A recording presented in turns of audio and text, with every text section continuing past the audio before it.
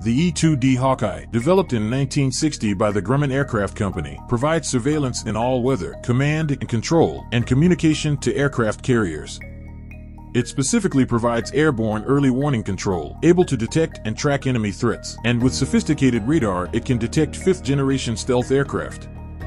It can communicate with U.S. fighters to intercept enemy targets.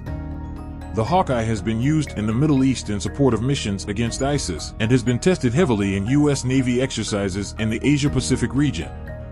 The E-2D, an upgrade from the E-2C, has updated avionics and twin turboprop engines with improved efficiency and power.